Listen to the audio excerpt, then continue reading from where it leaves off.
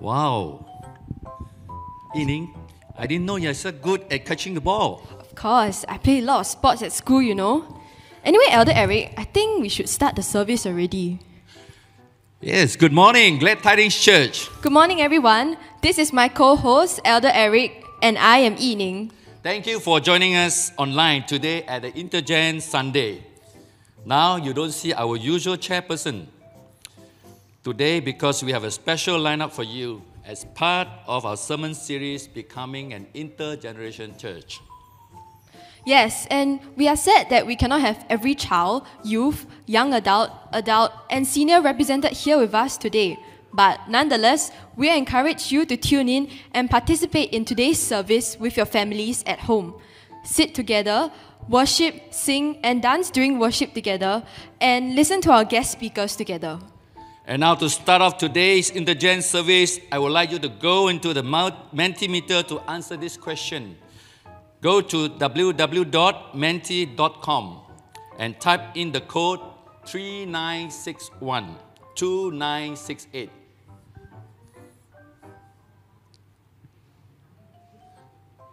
Are you ready for the first question? What do you think are the differences between me and Yining? Give your answers in the Mentimeters now.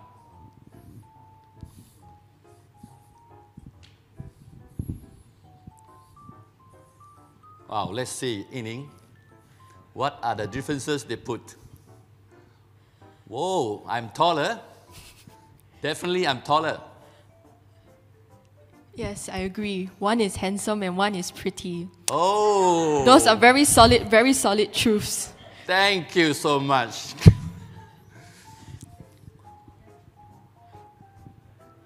wow, we have also the age.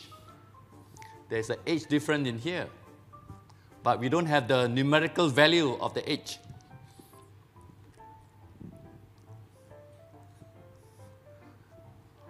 Let's see, is there any more differences that they could point out?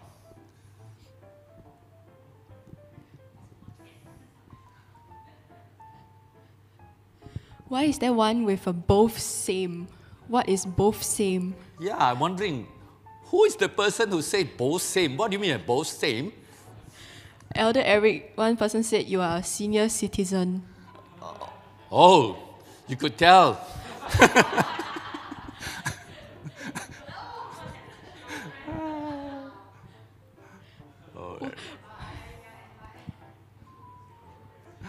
Wow, I like that. Oh, yes. Somebody- Somebody said one is a son of God and one is a daughter of God, but both are children of the Lord. Wow, praise God for that. Okay, can I know? Can I know someone who put the answer as young at heart? How do you know my heart is young?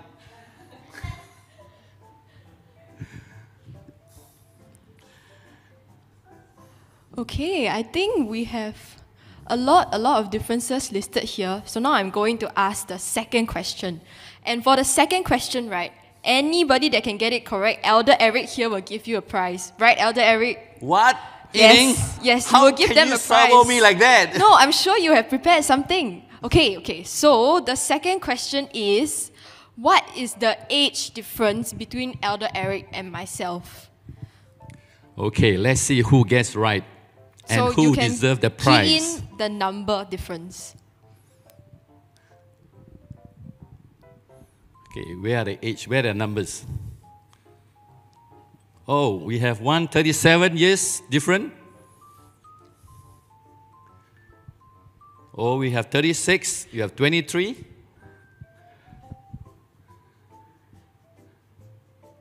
All right. Two 30s and two 41. Pretty close, right, Yining? Quite quite close, but no one is getting the correct answer yet. But the answer is still wrong. there is one says 18. Wow. Either I'm, I'm young or Yining is old by putting it. okay. 44. Yeah. Both are forever 21. Wow. I like that. Forever 21. Still no correct answer yet, though.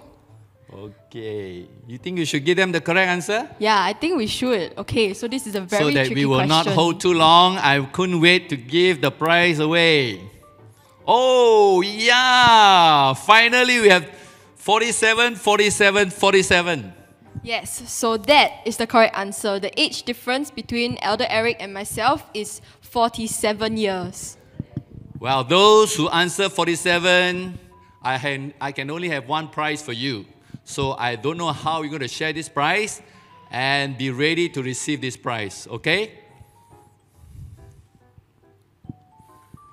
And this is the prize for you. Wow, Elder Eric. I didn't know you knew how to do a Korean heart. Do you guys know? Well, I think we should give Elder Eric a round of applause. Thank you, thank you. Don't forget, I also watch the Korean serial, the Ajuma. They love this sign. You know, Yining, just now we asked people to pick out the differences between us, right? And that's usually what we like to do when we meet people who look, act, and talk differently from us. But you know what? I want to focus on the similarity now we have. And that one big similar factors is that we belong to Christ. Yes, that is very true. And no matter what the age is, we are brothers and sisters in Christ. Yep. So before we start service today, I would like to encourage everyone to send a message to someone in GTC but of a different generation and tell them this We are one in Christ. God bless you, brother or sister. Yes, will you do it? Let's do it together. All right, I think I'm going to text Pastor Lydia. What a great idea. Of course, Let it's a great idea. Let me see who I have in my phone. Okay, done. Yining. I think it is time. Elder Eric, what, what are you doing? Are you warming up for something? I thought we just played with the ball just now. No. What do you think? It's time for praise and worship with our band consisting of different ages. And Samantha is going to lead us in some praise song that require all of you at home to get up on your feet. And yes, you, the older one, like me. Yes, you, the people that are 47 years younger than me. Yep, so stand up and get to your feet, including the younger children and the teenagers, and let's worship God together. The live band will be set up on stage with the children leading us in the actions to the worship songs. So, young or old, worship is made for everyone. So, stand up, move along, and sing along with us. Let's welcome the worship band.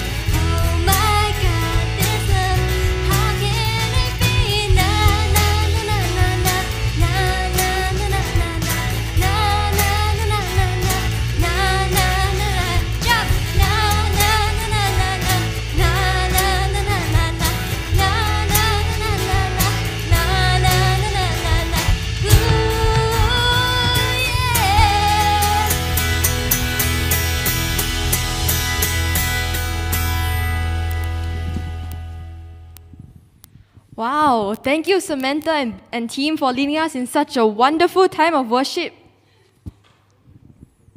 Elder Eric, do you do the actions to the worship song? Did you see what I do down there? I was following every move. Na na na na na na na na na na na na na. Wave of mercy, wave of. Oh, oh, oh, oh. Sorry. Wow, Elder Eric, what an icon. I love your spirit to be so enthusiastic when worshiping with the children. And speaking of our children, today we have Brother Elvin Foong who will be sharing with us from God's Word about the value of a child. He is here with his beautiful family, Esther, Nathan, and Phoebe. Yes, and did you know that when COVID 19 first hit and all the churches had to close its doors, Brother Elvin and his wife Esther did an online program for children all over Singapore. And many of our GT kids attended and they were so blessed by their ministry. Yes, they are the founders of Treasure Box SG, and their aim is to inspire, train, and equip parents with the tools they need to lead their families in seeking God together. Elvin and Esther are trained marriage mentors and speakers with focus on the family Singapore. They believe that every parent's first ministry is to their home, and their first disciples are their own kids. Their vision is for a generation of spiritually healthy families to rise up and display Jesus' love to a lost and broken world. Yes, and we are so grateful to have them here with us today. In fact, they have specially prepared a worksheet for our primary school students who are watching and following along. So it should have been mailed to you sometime this week. So, parents, if you would please prepare that for your child as well. And now, before I invite uh, Brother Elvin up on stage, I would like to say a prayer for us as we listen and for Brother Elvin as he shares the word.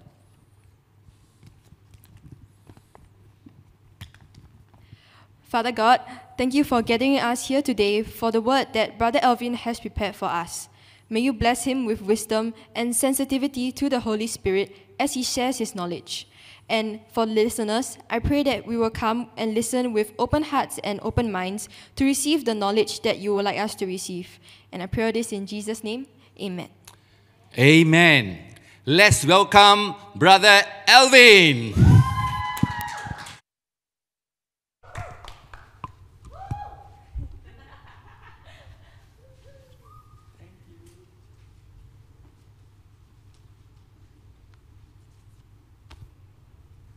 All right. Good morning, everybody. Good morning, Glad Tidings Church. Oh, it's nice to have some response here. Well, um, uh, before I start, I want to say a big thank you uh, to Pastor Paul, to Pastor Lydia, and the rest of the team for inviting us here. Uh, so I'm here with my wife as well as my two children. Can you wave? Assume that they can see your hands. All right. Um, yeah, and uh, it's, it's such a pleasure to be here, especially for your intergen- intergenerational uh, church service. Uh, I really, really enjoyed the banter between Elder Eric and Yining. Uh, I think they were very natural. Were they very natural? Come on, at home, can you give them a big hand, please? Yeah, they did so well. You know, and it's always a, a privilege and a pleasure to be able to come to church and see the generations, not just sitting together, not just worshiping together, but really learning and enjoying the Lord and enjoying each other as well. Uh, I believe that that's uh, God's plan and that's God's purpose for each and every one of us as well as we grow together uh, in His house and in the faith. Amen. All right, so I'm going to go ahead and start my sermon. Uh, so you guys can see my screen. Oh, I was telling JK just now, I was saying, JK, I have very bad experiences with pointers. So let's try that again. Okay, okay. it works. My fault, I never turned on. Okay, so this is us. Uh, as you can see on the screen, uh, I, Esther and I have been married for uh, just over 13 years now. Did I get it right? she was shooting me daggers already. Uh, just over 13 years. Nathan is 10 and Phoebe is 8 years old. And uh, yeah, so we, we started this uh, ministry called the Treasure Box about slightly over three years ago. So it's nice to know that you guys have been following along with us on social media and on YouTube. And I'm really thankful to hear how you guys have been blessed, uh, even by the series of videos that we put out last year. Uh, wow, it feels like such a long time ago. Uh. This pandemic stretches time like nobody's business. Okay, uh, so as Yining pointed out earlier, we did send you guys uh, this worksheet. So it's for the primary school, but if you are if you have younger kids, you can let them try uh, coloring in also, lah, huh? no problem. So you see that there's some arrows on your worksheet. So those arrows will kind of direct you and help you to kind of follow along as I share my message. Okay? So today I want to kind of start off right by asking you a very simple question. Okay, whether you're here or whether you're at home. What makes you mad? Okay, mad not like xiao, but mad like angry. What makes you angry? So, in order to hear from you and get your response, I know today we do a, a bit of Menti. Eh? Uh, so, can you do one more Menti for me, please? okay, so go to menti.com, 3859 2383. Uh, okay, or you can just scan the QR code, uh, and in just about five seconds, JK is going to help me to switch over to the Menti. And I want to hear from you. What makes you mad? Okay? What makes you angry? Okay, and here are some of the categories that you're going to see on your Menti. Okay? Number one, people interrupting your conversation. Okay? Does that make you angry? How about this? Other cars cutting into your lane.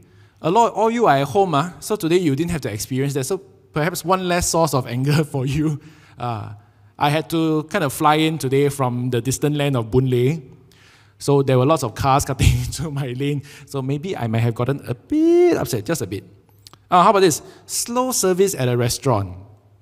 Right? You go and get McDonald's, go and get your fast food, but then they say, Sir, sorry, I gotta give you, give you a number, you have to wait. You're like, What? I thought this was fast food. How about number four? Internet lag. Oh, oh, oh. Are we all, oh, there we go. Internet lag is a huge source of pain for us, especially gamers uh, like Uncle Elvin. Uh. Am I allowed to say that? Uh, the next one is quite, well, jumping quite a lot. Eh? Actually, it might be the most. Realizing you paid too much for an item you could have gotten for cheaper elsewhere.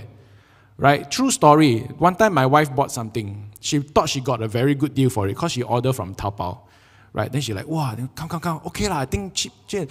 Then plus shipping plus the air freight, right? Then you can like, wow, very happy the item. The next day we saw it $2 at Daiso. Ah, then you're like, okay, angry.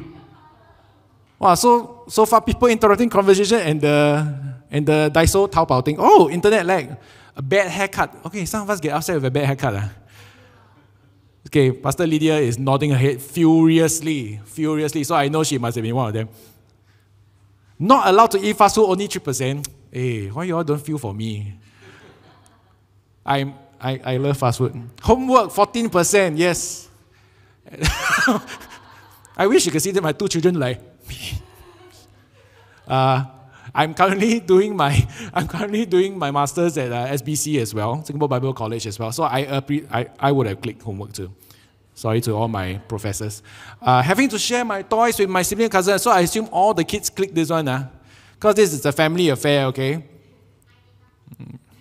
But but I know you love to share, right, Phoebe? okay, maybe I should asked you out loud. Okay, so these are some of the things. I'm sure there's many more that we can list, but let's take a look at the, the screen now. Uh, wow, so most of us get upset when people interrupt our conversation or when there's internet lag. I assume most both of them are kind of related, right?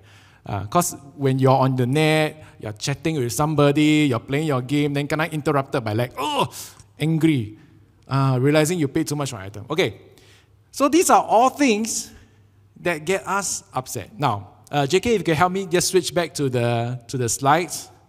I want to share with you uh, just a very short video, okay, of some of the things that make me, Uncle Elvin, mad. So, because it is not enough that I get upset and triggered on my own, I want to trigger all of us by letting you watch this video, okay? So, watch along with me, and I hope that it will bring you as much pain as it brought me. Okay, here we go.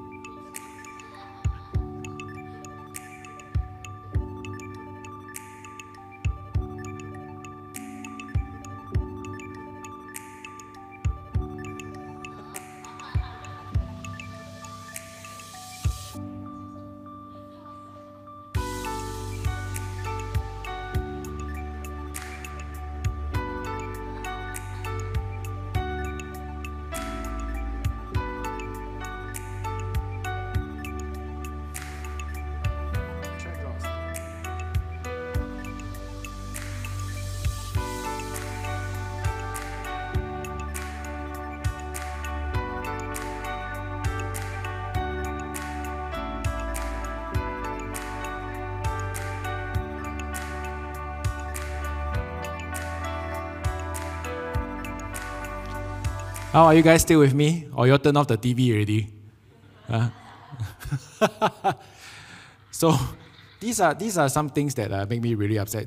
Uh, in front, Elder Eric was like, "Uh, oh, the kick cutting part. He was like, oh no, oh no, very visceral, right, in your face. So, I okay, just just a fun little intro, okay. Um, I, I I think we can all agree that all of us, regardless of our age, regardless of our background, regardless of where we come from, what we do, right, we are all bound to get angry at something at some point in our lives right? And the reasons why we get angry are very varied, right? There are many different reasons, right? So children maybe they're angry because supposed to be holiday, but my teacher still give me HBL, ah, right? Ah, for adults, like wow, angry because you know what? I was supposed to finish close that deal, but then somebody, one of my colleagues came in and stole it from me. Wow, angry, right? But here's the thing. What I want to suggest to you, all of us, that what we get angry about shows a lot about what's happening inside of us, right? That what we get angry at reveals something of our nature, our character, and our motivations, right? So, if you want to know what is close to a person's heart, what is in their hearts, find out what makes him or her angry, right? So, if discrimination is something that gets a person really upset, you know that justice lives in that person's heart. If gossip, lying words, right, rouse someone up, you can be sure that honesty is a virtue that he or she treasures. And if poverty stirs a person to passionate debate and to action, we can conclude that this person has a heart for the poor and the needy. So now you all know what makes Uncle Elvin angry. You all know that I'm actually a very shallow, superficial person. okay? Uh, how about this? Children. Okay? Children here, the two children here, and all the kids watching at home. How many of you like animals? Can you show me by your hands? Okay. Who loves cats like Uncle Elvin? Ah, okay. All the dog lovers. Oh. Pas- Pastor is a dog lover. I cannot say anything bad about dog lovers now. dog lovers are great. Dog lovers are the best. I told you, superficial, right? Um, if how would you feel if someone came along and kicked the cat or kicked the dog? Wow, angry, right? Uh, so if you feel angry like that, if you get upset, then probably we, we have a heart for all living things. We have a heart for maybe for small, cute little animals as well, okay? So, what if, what if we were to kind of take this idea that anger shows what's in a person's heart and let's kind of apply it to Jesus? How about Jesus? When were the times that Jesus got angry? Uh, some of you are looking at the screen now like, what? Jesus got angry? Huh? Yes, he did. Go read your Bible. Okay? Jesus got upset a couple of times in the Gospels. And I suspect that if, if we studied the Bible to find out what got Jesus angry, what got him mad, we would likewise have a sense of what is actually important to him, what is in his heart. Okay? So let's do that. And today I want to kind of talk to you about what made Jesus angry as an introduction. Okay? What made Jesus angry? There are five instances in the Gospels where Jesus is recorded as being angry. So the word angry was used, or he showed very, very deep emotion. Okay? The first one is when he witnessed corruption and cheating happening in the temple courts. Right? So this is from John chapter 2, verse 14 to 16. And we know the story, right? Jesus went to the temple, he saw the people buying, selling, and basically they were being charged exorbitant, ridiculous prices, right? just so that people can go into the temple and worship. So people were being forced not just to buy the offerings for worship, but they were being forced to pay very high prices. So there was cheating.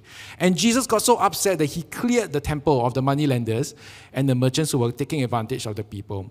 In fact, if you read this passage of scripture, you will find out that Jesus was so angry, he did not just go around, uh, no, flip table. But the, the Bible says Jesus went and made a whip. He didn't just find a whip. He didn't just borrow a whip. He made a whip. Can you imagine that? Jesus sitting down at one corner of the market, making a whip slowly, right? Like children like that, right? Children, are you more angry when your parents come and yell at you? Are you more angry when they are like, very? Are you, are, are you more scared when your mom's like, Nathan, you know, uh, when you get home, okay, then you will know. right? So Jesus was in the later than you know. Uh, he was in that mode, right, when he was making the whip. Okay? So Jesus got angry at corruption and cheating. Secondly, Jesus got upset. Jesus got angry at death. Right? And in the story of uh, uh, uh, Mary, Martha, and Lazarus who died, in John chapter 11, verse 33, Jesus felt a deep anger, a deep sense of emotion welling up inside of him when he saw Lazarus dead in the tomb. Right? So much so that he was deeply troubled, he was weeping. Why? Why do you think Jesus would have been angry at death? Simple, because Jesus represents life. Jesus said, I come to bring life and give life more abundantly. And here is death, the ultimate enemy of life. No wonder Jesus got angry. Right? How about the next one? Unfruitfulness. Jesus got angry at unfruitfulness. Right? In this story, you read about how Jesus cursed the unfruitful fig tree. So I always like kind of try, try to find a parallel to that in our modern day and age. It's kind of like you imagine at the end of a long, hard day of work, okay, Pastor Paul? After a long, hard day, you counsel 20 people already, you have to prepare sermons for the next five months, tired, hungry, okay? Then you walk home, you see the coffee shop in the distance, you see, oh, which store is still open? Then you see the lights are still on on the Chai Fan store right? You know, they have all those like halogen lights, Chai Fan store, right? Then you're like, oh, there's still food left. I can go and buy. And you walk to the Chai Fan store, the lights are on, the auntie is there smiling at you. 小弟你要哪一个帅哥 right? then you 这个 oh no. And you get there and you realize the lights are on, but actually there's no food left.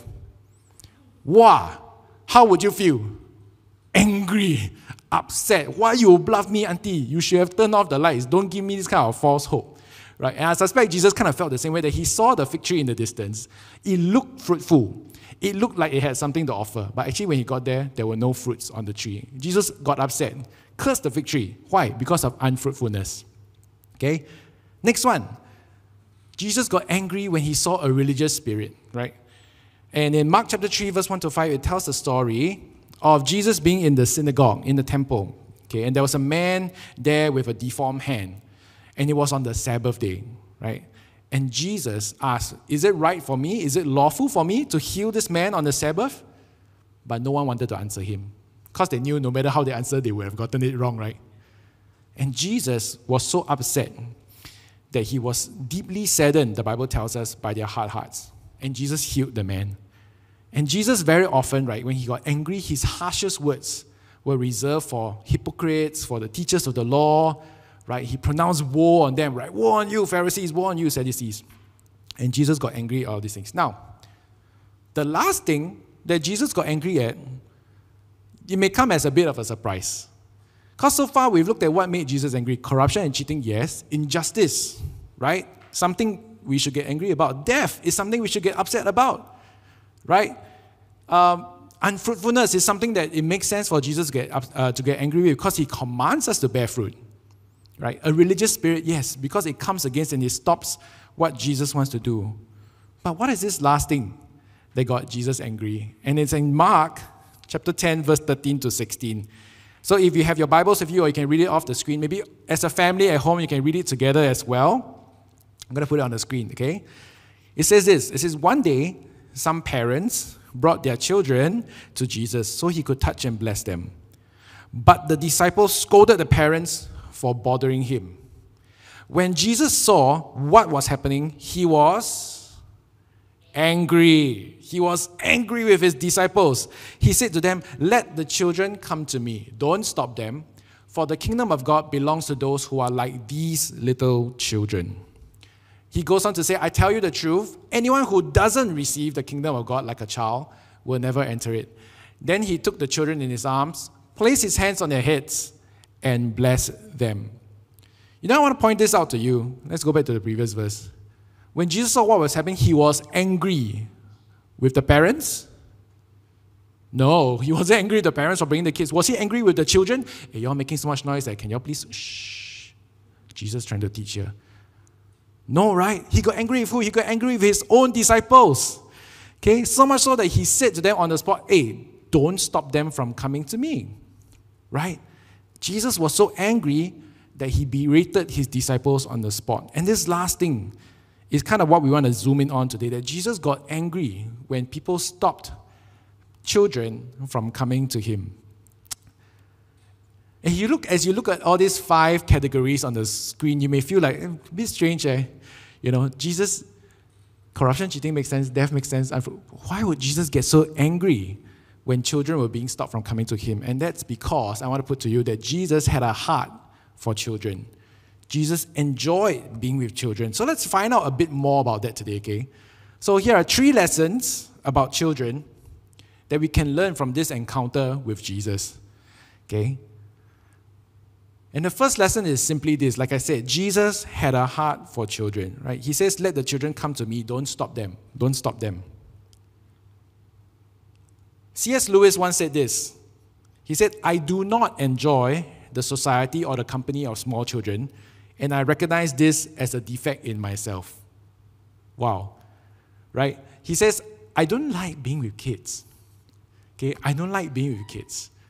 And I think this is a problem with me.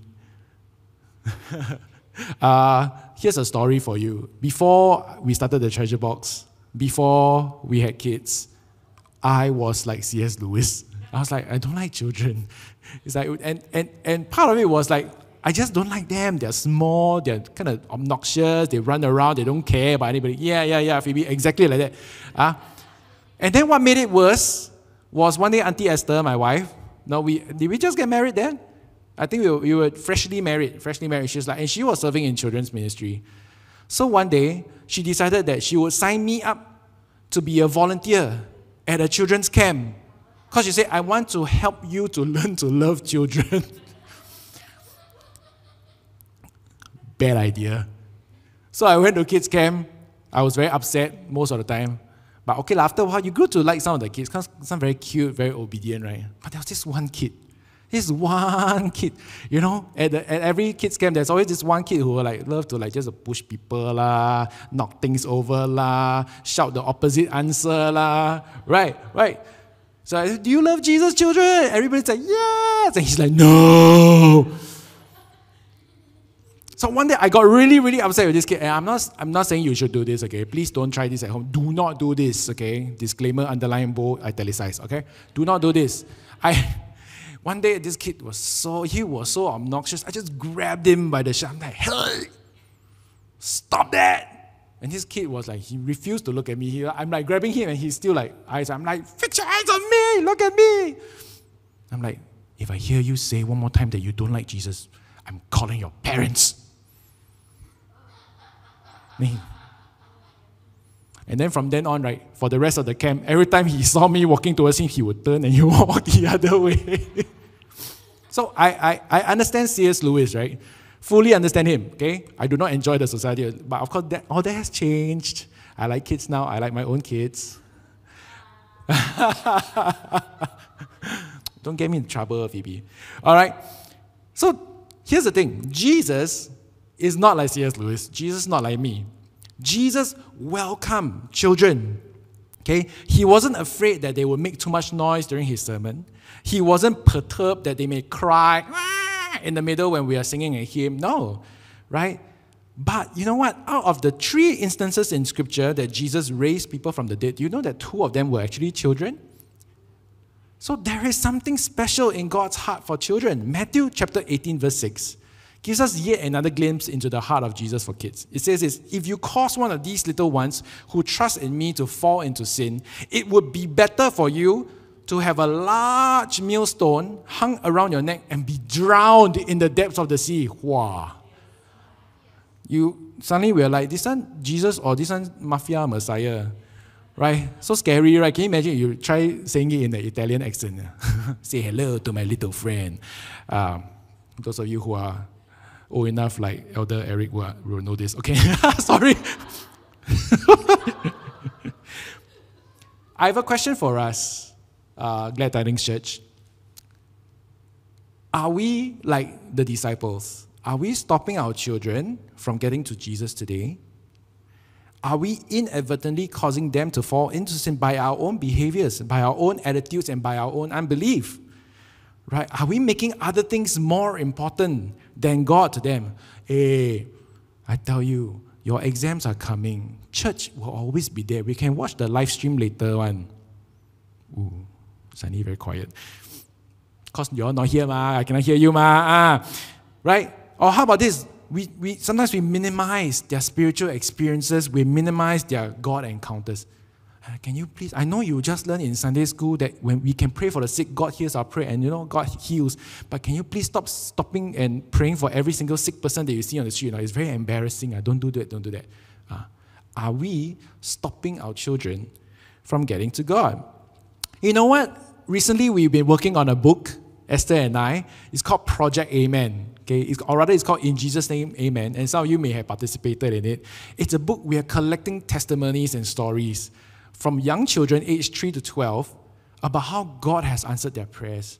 And you know what? The stories that we receive have been so encouraging to us. I remember I love this one. Uh, this little four year old girl who wrote in, she drew a picture of her car. I mean, we only know it's a car because she told us it's a car, but it's a beautiful picture. And her caption was simply this I thank God for my car. If not, the rain will collapse us. And it's simple things like that that children are thankful for. But as adults, sometimes we try to bring our own wisdom to bear. We bring our own experience. It's like, this is not a real testimony. Testimony must be like, you know, you, someone you know got cancer. We prayed the cancer suddenly disappeared. The doctor said, it's a miracle. Then you, but you know what? Children come to Jesus just as they are. And children have amazing God encounters. We need to stop stopping them from coming to Jesus. Amen? All the children say? Ah, very good. Adults also children. You are right. Okay. So the first one, Jesus had a heart for children. Next, I want to do another Menti, but this one I want to restrict to children. Only children can do. Okay. Parents, you can help me set up the Menti. Pass your phone to your children. Children, yes, I give you approved screen time from Uncle Elvin. Okay, for the next 30 seconds only. Okay. I'm going to ask you a question. Okay. If you had only $2 for recess, what would you spend it on? Ah, you have $2 for recess. What would you spend it on? And you can only choose two things. Okay, you can only choose two things. Okay, come, let's see. Hey, parents, let your children use the phone for a while. One, okay, one. Okay, one. Supervise, supervise. Uncle Elvin, supervise. Okay, I think it's on the screen. Oh, it's not refreshed? Okay, let's try reloading the Menti if we can. Thanks, bro. Okay, but you think about it, okay? You've seen the categories on the screen already. Okay? What would you spend it on? Okay? Soft drinks, snacks, fried rice, noodles. How about this? A new eraser, a bookmark, a ruler of fruits. Okay, I think Menti is working very hard. See the circle spinning, huh? Okay, how about this? If you can't do it on the screen, it's okay. All right. At home where you are, children, tell your parents. If you had two dollars, what would you spend it on? Okay. I'll give you about 10 seconds to tell your parents. What would you spend? Nathan, what would you spend your two dollars on? Don't worry, Mama, you won't scold you. Just tell me. Tell me. Huh? ice Milo. Okay. Phoebe says she will spend two dollars on ice Milo. Ice cream, two dollars. Nathan says, all two dollars on ice cream, really? 50 cents is the cheapest ice cream. Okay, okay, okay. Not bad, not bad. This one got some sense of uh, finances, right? Okay, so at home, I assume you've had your little conversations. Uh. Let's go back to the slide. Let's go back to the slide, okay? Now, some of you, so my daughter said ice Milo, right? That reminds me of a story. I tell like I feel like Moses Lim all of a sudden. Moses Lim Tanatek. Okay. I remember Nathan's first day of school, primary school. Okay. He was so excited. We were all so excited. We brought him to school. You know, this was before COVID, lah. Huh? And we could, like, so the parents will naturally gather at the canteen during recess time. Because that's when we want to see our children, wave to them. Hopefully, they still recognize us, right? They go there, they see what they buy. Oh, so cute. Oh, you want to buy chicken rice? You bought chicken rice on your own. Ayo. I'm like, me and Esther were standing there at the paga there. Where's Nathan? I cannot see him. Where's Nathan? Then suddenly we see this kid running towards us, running. Like, oh, it's Nathan. And he's running and running. I'm like, what is he holding in his hand? He's running and I'm like, that is not a plate of rice. Running, running. That is not a plate of noodles. He's holding a big cup of ice Milo dinosaur. Dinosaur, that means with the extra Milo powder on top one. He run into, look at what I got, mommy, I got it. I'm like, how much do you pay for this? Two dollars. Pay two dollars for Milo dinosaur. Okay, I hope you don't get hungry in the middle of the day, right? So ch- children, children are like, if I have money, I'll spend it on something I want, lah, right? Milo dinosaur. Maybe some of go to the stationery shop, use all the money they have, buy eraser. Our time, our time we play eraser, right? We buy the uh, pay, play the what's it called? Uh, the flag flag eraser, right? Or they go and buy a bookmark, whatever it is. You know, here's the thing. Most days, right, we wouldn't even trust our kids with two dollars pocket money. Right? Give you two dollars and make sure you spend on food, ah. Don't buy anything else, ah. ah. Here's a question. Would you, having bought a brand new car, maybe a brand new Lamborghini, I don't know, just thinking of any car names, would you hand the keys to your car, uh, hand the keys of your car to your children and say, nah, this car is for you? Would you do that? I'm guessing not, right? We don't even trust them with $2. Why would we trust them with a car? But you know what? Jesus makes a very bold and audacious statement. He says the kingdom of God, the most precious thing we could ever possess, belongs to those who are like little children. It's kind of like Jesus saying, you know what, here are the keys to the kingdom of God. Kids, here you go. You can have it. you know what to do with it not? Don't know, but yay. right? Why? The question is why? Why would Jesus entrust children with his kingdom? Children have no life experience. Children have no killer strategies. Children have no social media presence, or some of them do. Children have no business acumen, don't know how to make good business decisions, right? Children, some even haven't started learning how to read yet. And some of your children are still in diapers. Why would Jesus entrust the kingdom of God to little children? Why? Because he saw the true value of a child. And I want to kind of drop this idea in your head today that Jesus doesn't look at future potential. Jesus, when he sees a person, he sees eternal value. And some of us, um, we, we kind of like, we get, we get hoodwinked by uh, Whitney Houston, right? What is she saying? I believe the children are our future, right? Teach them well, let them lead the way. She said, children are our future, so we must look after them. And sometimes we, we kind of get it into our heads that the only reason why we should help children grow, take care of them, is because maybe one day they will be the next prime minister of Singapore. Have you anybody ever said that before? Okay, don't raise your hands. How about this? This son, we must train him up. Next time he will be the next Billy Graham. And we are always looking ahead to future because they have future potential. Therefore, okay, la, we must prepare them for that. But Jesus didn't say that. Jesus didn't say one day this person will be raised up to be a great disciple or, or great follower of mine.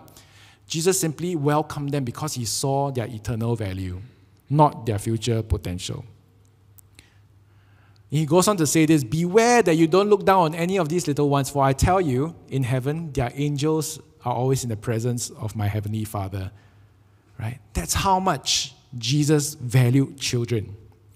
You know what? We always look at what children lack, what they are short of, right? They are short of experience, they are short of qualifications, they are short of attention most of the time, right? They're short of all this. But rather than look at what children lack, Jesus sees what they possess. Jesus sees what they have. And what they have is simple, childlike faith. And faith, unlike, uh, unlike in, on earth, right? Faith is the currency of heaven. When we get to heaven, what counts is faith. What counts is not how much money you have in the bank, how many qualifications you have, how many cars you've driven, but faith. Why? Because faith moves mountain, unlocks miracles, and most importantly, faith pleases God. Right? Faith pleases God. So before we are quick to dismiss children, look at children and say, ah, you're not ready. Ah, you're not educated enough. Finish PSLE first. Ah, or you're not skilled enough. Right? we would do well to remember that Jesus himself placed immense value on kids, that he gave them nothing less than his kingdom.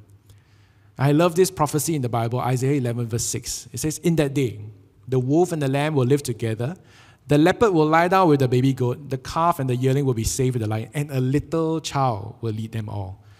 Beautiful picture, beautiful imagery of the immense value that Jesus places on a child. Last lesson we're going to learn today, but definitely not the least. And I want all of us to listen now because it's not this sermon you say, well, Elvin, say children, so go, okay, la, okay, la. But you know what? We all have a chance to be like little children. Right? I love what you guys said in the Menti earlier. Say, Elder, Elder Eric and Yining, what's the similarity between the two of them? Right? One is a son of daughter, one is a son of God, one is a daughter of God, but both are children of God. And you know what? No matter how old or how young you may be in this room or even at home, all of us are children of God. So, how should we behave? How should we respond to the Lord in that way? Jesus exhorts us to be like little children. He says in verse 15 of our passage, He says, Anyone who doesn't receive the kingdom of God like a child will never enter it. When Jesus was asked, right, the disciples are very funny people. They spend all their time around the greatest person in history, right? Who goes around healing the sick, doing miracles, right? Raising the dead. And they still there to argue who is going to be the greatest, are you or me? Ah? Uh, so I don't understand the disciples, although sometimes we behave like them, right? So they were arguing. They asked, Who is the greatest in the kingdom of heaven? Jesus is very clear. He doesn't give them a half answer, he doesn't give them some riddle. He just says this He says, Unless you become as humble as little children unless you take the heart posture of a little child. Forget about being the greatest. In fact, you forget about even getting in through the gates of God's kingdom, right? Whoever takes the humble, lowly position of this child is the greatest in the kingdom of God. And here's the thing. So at the end of it, when we come back and think about it, right, we, we think about children. So parents, think about your kids. If you're not married or you're, you don't have kids, think about the children in your vicinity, like your nieces, your nephews, or maybe some of the GT kids, right, who you encounter uh, undoubtedly. What, what do you think is the reason that Jesus enjoyed being with kids so much? Why did Jesus enjoy the company of little children? That he would say, Let them come to me. Maybe it's the purity that they have in their hearts. Maybe it's their genuine faith, like we talk about. Or maybe it's just their pure ability, their unadulterated ability to enjoy both creation as well as the Creator. Okay? And Jesus enjoyed being with little children. So when Jesus exhorts us to be like little children, it's not about behaving like little children. Huh? So it doesn't mean that we will start throwing temper tantrums. Huh? I want, I want. ah, children, children also don't do that, uh, please. No good. Uncle Elvin say cannot, okay? Um, and of course, children, if you're here, they'll say, wow, this is such a great sermon. Daddy, mommy, Uncle Elvin said you must behave like me. So I'm the boss now. No, no, no, no, no, no, no. That's not what I'm saying. Huh? This is also disclaimer, bold, italicized, underline. what, what, what Jesus is talking about and how we can all learn from little children is about that humility of heart. It's about that simple faith to receive and accept and believe God's plans and God's promises for each and every one of us. Amen? So maybe that's what Jesus meant when he said that we need to be like little children to enter a kingdom of heaven. I'll leave you with a few thoughts. Heaven doesn't have space for the person that you and I pretend to be. Heaven doesn't have space for the person that comes in with all their qualifications, with all their life experiences. No, heaven only has space for the person that Jesus died to save. And that is that little child in you and I. And that's what God is calling us to. That is what Jesus is exhorting us to do. So Jesus loves the little children right? We sing that song all the time, all the children of the world. Jesus saw the true value of the child. And Jesus exhorts you and I to be like little children. And as I close, let's read this verse, Matthew 19, verse 14. It says this Jesus said, Let the little children come to me. Do not hinder them, for the kingdom of heaven belongs to such as this let the little children. And I believe that when Jesus says, says, let the little children come to me, he's not just referring to physical, biological little children like those who are watching now, or your six years old, nine years old, 12 year old. But he's referring to all of us. We need to come to Jesus. We need to approach him with the heart posture of a little child. And that's an open invitation to every single one of us here in Glad Tidings Church. Whether you're a senior, senior citizen, whether you're a young adult, a youth, a child, it doesn't matter. Jesus welcomes all. He opens his invitation to all. He says, Come to me like a little child. And I close with this. Uh, this is a quote taken from an article I read not long ago, and I think it perfectly encapsulates what I've been talking about today. This person writes Followers of Jesus, you and I, we are all little ones. Childhood is not something you grow out of, but something you grow into. There will be no grown ups in heaven, might be the best translation of Jesus' words in Matthew 19, verse 14. But even more than showcasing a child, and not some adult scholar or soldier or priest or businessman as his model disciple, Jesus made a child the primary metaphor for following him and for holiness. Why? Because the greatest gift of Jesus was the right to become the children of God. And friends, family, young ones, old ones, in between ones, that is the gift that God has given to you and God has given to me. That we do not need to approach Jesus only after we have achieved a certain level of status or after we have achieved a certain amount of life experience or ach- achieved some form of qualification or other, but we can approach Him boldly, confidently, knowing that He receives us, right? When we approach Him like little children of God. So, would you join me today, families at home? Would you just close your eyes together? Would you hold hands together if you can, and here as well? And if not, wherever you're watching from, I, I want us to kind of just close our eyes, bow our heads, and think about this for a little while as I pray for you.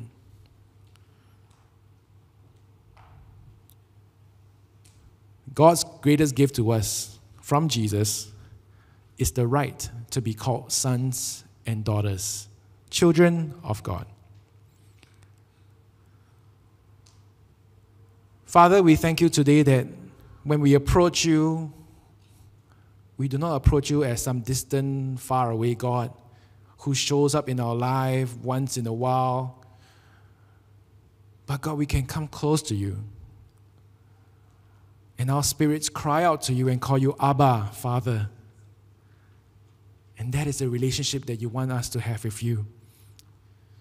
So, Lord, today, whether we be nine years old or 90 years old, listening to this sermon, God, I pray that God, our takeaway will be simply this that God loves children. And because we are all children of God, we can approach Him directly and you will not push us away. So, Lord, would you speak to each and every one of our hearts today? Help us to see, firstly, children the way that you see them, not as a nuisance, not as a liability to our lives or to our ministry or to our church or to our community, but God, simply as people that you value so, so much, God. And Lord, would you also cause us to re examine our own lives, our own lives and our own hearts? God, have we been trying to build up our portfolio before approaching you? Or have we been simply running to you just like the little child did? God, would you forgive us for the times when we have tried to present someone else other than our true self to you? But God, we thank you. We thank you, Jesus, that you receive us and you accept us just as we are. So, Lord, would you help us today and for the rest of this week? That, Lord, even as we go through our day, go through our work, go through HBL, whatever it is, that, Lord, in everything that we do, may we never forget we are children of God and we have access to you anytime and anywhere. So, God, we thank you. We pray blessing over every member, every leader, every pastor, every boy, every girl in Glad Tidings Church. God, may they realize and recognize the value that they have in your family and in your kingdom. In Jesus' name we pray. Amen. Amen. Well, thank you very much for having me again. I'll hand this time back to Elder Eric.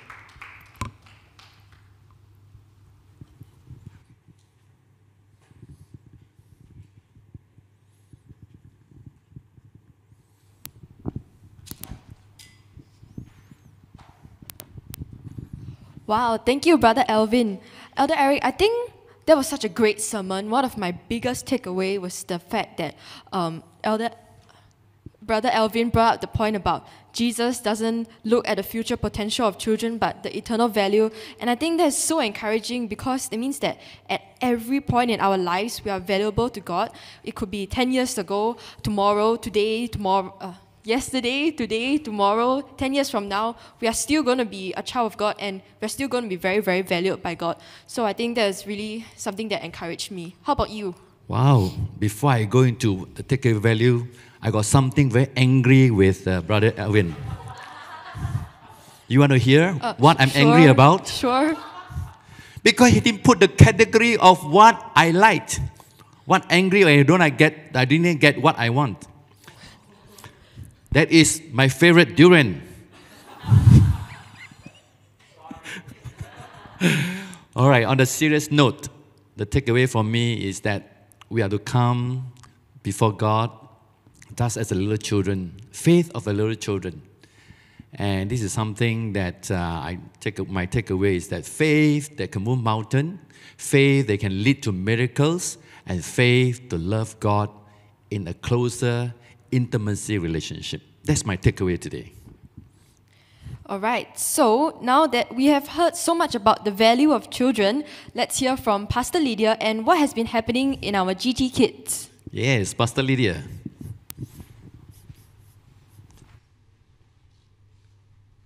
Thank you, Elder Eric and Yining. And thank you, Elvin, for that sharing. Um, so, hi, everyone. We learned today from God's Word about the eternal value of children and how Jesus values and have a heart for them, uh, and how we all should bring children to Him. So this is why our teachers every week for you know in the GT Kids, um, they have been meeting with our children online weekly still even in the midst of COVID, and we have an amazing head of children ministry Rebecca and our teachers who you know they week in week out they plan their lessons and spend time uh, and dedicate themselves to teach God's word to the children and also try to make the lesson fun and enjoyable for each child. Now, our children enjoy these lessons greatly, uh, and every time we see that they come, and even last week, uh, last Sunday, we had our Children's Day celebration. Uh, they were organized by some of our youths, and we had nine newcomers join in uh, on Zoom. So they had fun, you know, and they heard the message of Jesus Christ and they responded. So um, this was really, uh, really encouraging to our hearts. And as a church, I really encourage all of us to bring the children from 3 to 12. If you know anybody, you know, relatives or friends or neighbors, please do invite them to join us on uh, GT Kids, you know, on Zoom. Uh, we have for preschools all the way to pre-6. So you may do so by just contacting Rebecca or myself directly or by calling or emailing the church office. Yeah, so as a church, right, uh, let's do that. Bring our children to Jesus. And you know, some of you, I also want to update that some of you, you may realize that we now refer to our Sunday school or children ministry as GT Kids. Yeah, so the new name is accompanied uh, by with a new logo and new values. So this uh, rebranding effort, right, serves two main purposes. Yeah. Um, firstly, it strengthens it strengthens the identity of an already well-established children's ministry uh, in Glad Tidings, right? By including the letters GT. We didn't used to, we just call it Sunday school. So Glad Tidings is incorporated into the name GT Kids. It's simple and short, which aids in our communications. And uh, Rebecca designed this lovely logo. Okay, so you can see the G and the T inside. Okay, also represents the cross lah right? Uh, so it gives it a fun and fresh look so that, you know, future generations and new generations of children that will join us would uh, be, you know, feel like they want to identify, relate to our church better um, and find belonging in this community. Okay, and so this is also our mission. You know, it exists to develop faith in children through discovery of who God is such that they will delight in His word and prayer and demonstrate the gospel of Jesus to those around them. Okay, so uh, that's what we would like to do. The, the second reason why we have this rebranding effort is to align the children's ministry with the vision and direction of GTC's Build Me a New House. Yeah, so these four D's that you see here are the four values that we aim to nurture and grow in every child. So, in these four values, you will see us focus on the Great Commandment loving God, loving others. You also see the Great Commission sharing the gospel of Jesus Christ. You also see the emphasis on intentional relationships between parents and children, you know, within the family, between church and family, between teacher and child. Yeah, and also between parents and children. So we hope that you will continue to keep the families in glad tidings, children, teachers, right? Uh, all of us in GT Kids in your prayers as we disciple and develop faith in the next generation of children. Thank you very much. Thank you, Thank you Pastor Lydia.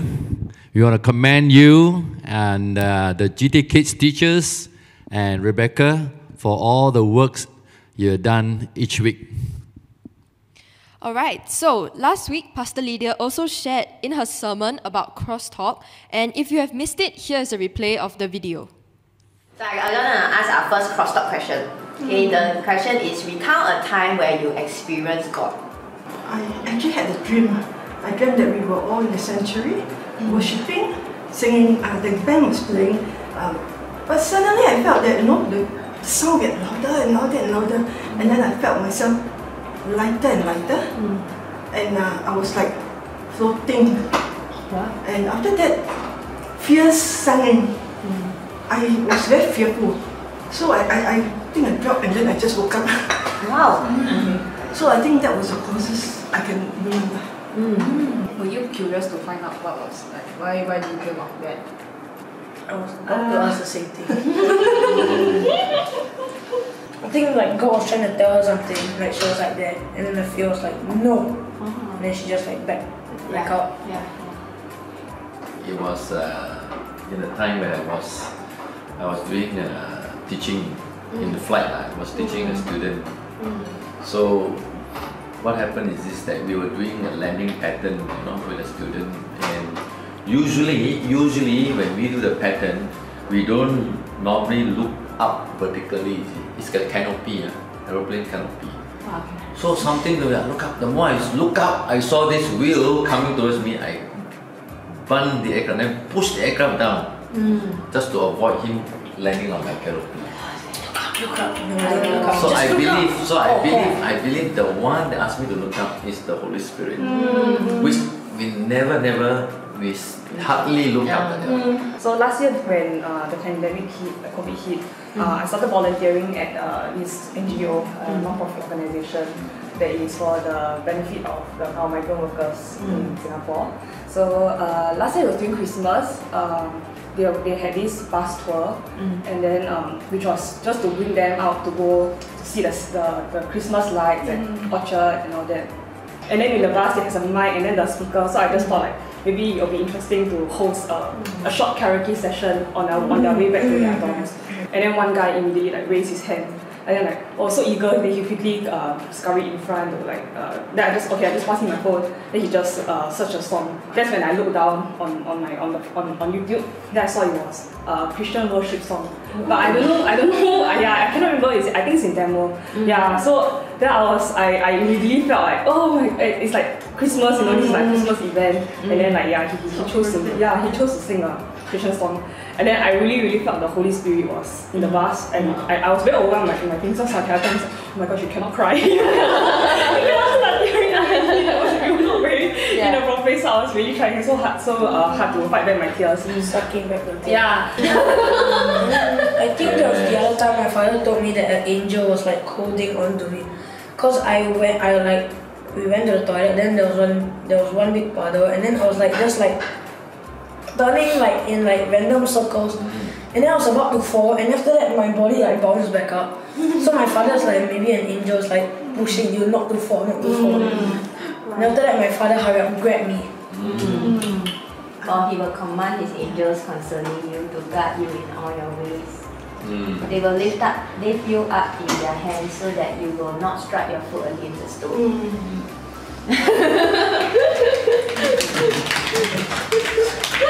so Alice and Gracelyn, what did y'all learn about each other after the crosstalk? Uh, okay, I I saw uh, Grace in a video before, but I, I you know haven't met her in person, so uh, I was glad that you know today I met I met her and get to know her. She's working uh, volunteering uh, at the Migrant Worker Association. That's something I found and also the work that she shared with me about the work she she's doing. Uh, about she shared that uh, during a trip, she was uh, uh, the whole trip prompted her to pray for one migrant worker. So I think that that is great. yeah. I, I, I think I always knew, you know, see her around in church, and um, that I think she also uh, is in the usher, the stewards ministry. yeah. So, but I never, I never really got a chance to go out and talk to her. So I'm really glad for this cross talk that we can like, get to know each other more, more in depth, and uh, know, knowing that uh, what God is doing in her life and how she really has, I, see, I really see the spirit, uh, the, the Holy Spirit manifesting within her, and it's just really very heartwarming to know that, yeah, yeah, that, that we have a member like this in our church. Yeah. Okay, Elder Eric and Menton, from the crosstalk, what did y'all learn about each other? Well, I find something unique in Nathan. One thing is that he loves to drink tea for the first time. And secondly, he has a unique mind of his own that can express so well of himself. I learned that even though Elder Eric is older, he still has the energy to continue God's work. And not only is he a pilot, he also can teach. So I feel like that's one of a very powerful skill that Elder Eric has.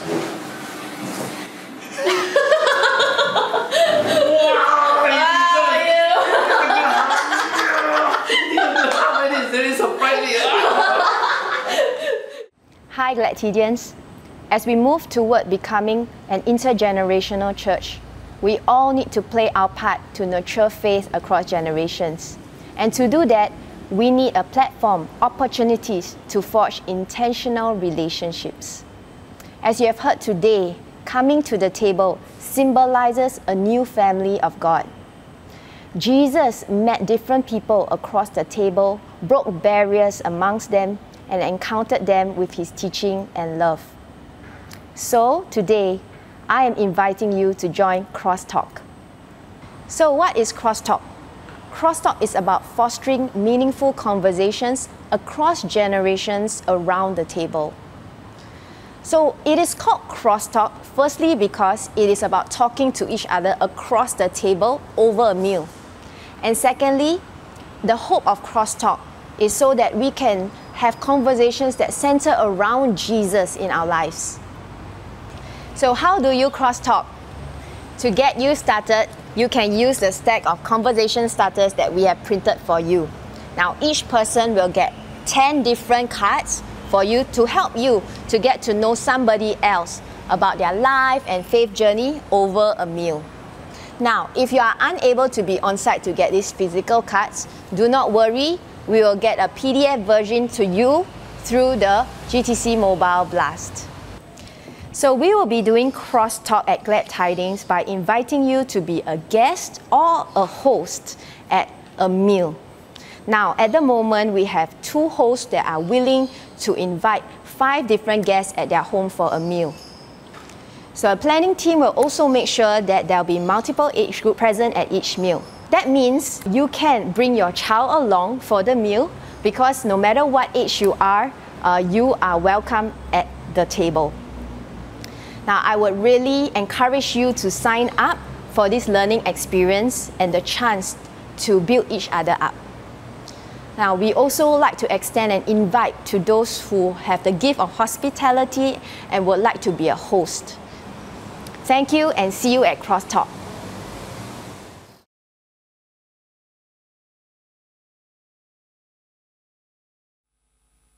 If you are interested to be part of this intergenerational initiative, you can register on the link that has been sent to you last week through the GTC Mobile Blast. We will only start crosstalk when the COVID situation improves and do so according to government regulations. Yes.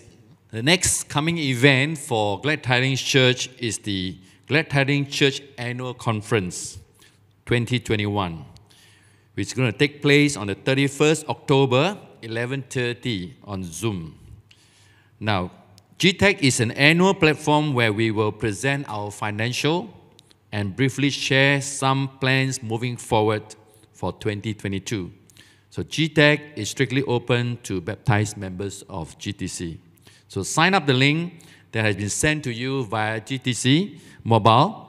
Uh, closing date for the registration is on the 23rd October. You will receive an email regarding your registration by 29th this month. Yes, and now we move on to a time of offering. We have been encouraging our young ones to set aside an amount of money that they would like to bless the Lord with, but not because God needs it, but because it is an is a way for them to use their money as an expression and as an expression to thank God for all that they have and all that God has given them. In the same way, for the families tuning in, you can consider your offering together as a family and give through the QR code. Thank you, everyone, for giving unto the Lord. We will now invite Senior Pastor to close the service.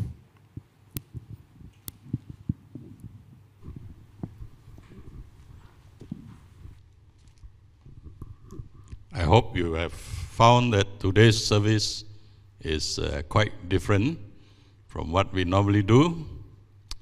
As we take our exploratory steps into becoming an intergenerational church, one of the things that I hope that uh, we are able to become is to be able to look at things from different perspectives of the different generations. And today, as we look at it, more from the younger generation's view, particularly the children's way of looking, I'm so encouraged. It's such a refreshing thing to look at uh, the scriptures from a different angle.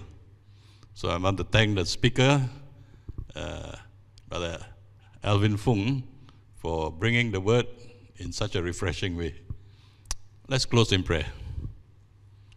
Father, we are so thankful for your people, for how they have been faithful in these times of the pandemic. And despite the fact that we are not able to gather together, we know that in spirit we are one and that we can progress into the future knowing that you are with us and that together we are going to make a difference. So we thank you, we praise you. Bless each one of us in Jesus' precious name. Amen. God bless all of you.